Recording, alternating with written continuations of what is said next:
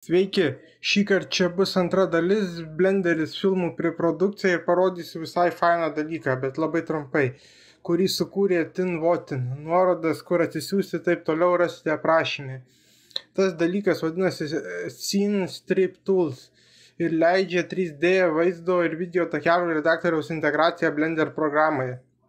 Atlikite siužetų planavimą ir 3D previs peržiūras, tiesiogiai integruota su Blenderio vaizdo takelių redaktoriai.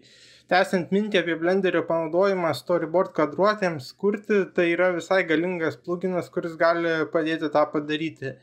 Tai atsidarom Blenderį, atsidarom video takelių redaktorių ir paspaudžiam link sequencer to 3D view